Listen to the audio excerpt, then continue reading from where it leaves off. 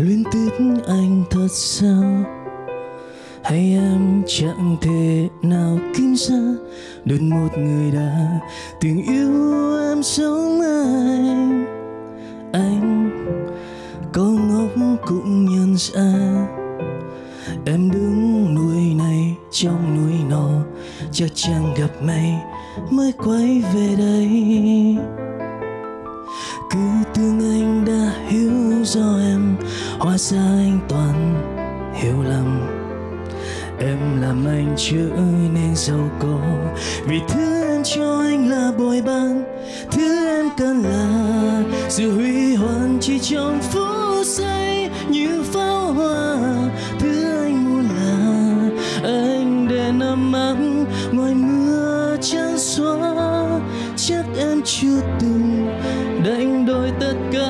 rồi nhận hết đắng cay chắc anh chưa từng gọi tên anh những lúc say.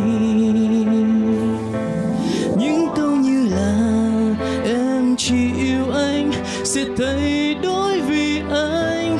Ở sâu trong lòng, anh chẳng hề tin, cũng không dám giây phút này, anh đã nhận ra thật ra là em không yêu ai cả vì em chẳng thể chấp nhận thực tại mà thôi Thứ anh cần là sự huy hoàng chỉ trong phút giây như pháo hoa.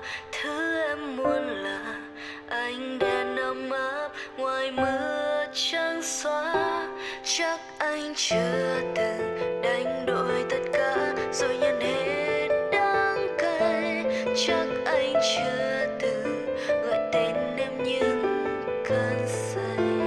bài hát uh, rất là Hàn Quốc rất là thị trường đúng với những gì mà Hiếu đã biết uh, trước giờ với uh, anh Phạm Hoàng Duy thì không biết là anh đến đây với mục đích gì bởi vì lần trước Khoa đã nói là anh đã có quá nhiều bài hit và cũng không cần phải ừm, đến với chương trình thì Hiếu nghĩ là cái nhận định đó đúng đó. Bài này nên gửi cho Nu Phước Thịnh đi. Nên đặt bài là anh hiểu thứ em cần thì nó sẽ ờ, cảm giác nó gần khán giả hơn. Thực ra thì em nghĩ là anh duy cũng không cần thiết phải đến với chương trình tại vì thật ra anh duy cũng đã có một cái lượng khán giả riêng của mình cũng như là có những cái mối liên hệ khác và để mà anh duy có thể tiếp tục cái sự nghiệp của mình. 4 năm trước thì ờ, anh có tham gia sim hay sao?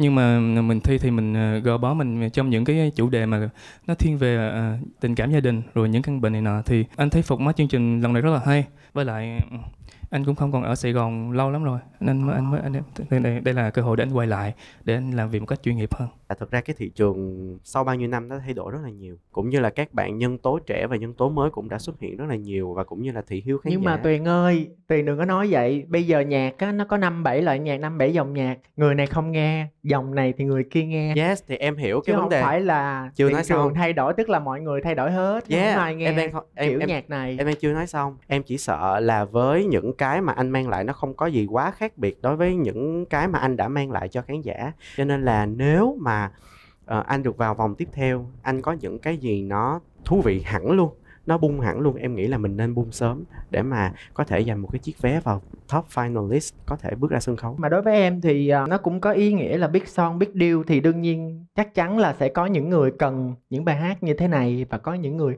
cần bài hát như à, thế khác. Thì anh cứ mạnh dạn thay đổi mình hơn một tí xíu nữa. Cảm ơn người VPBank Prime, thương hiệu tài chính đầu tiên dành cho thế hệ sống bứt phá, hân hạnh đồng hành cùng chương trình.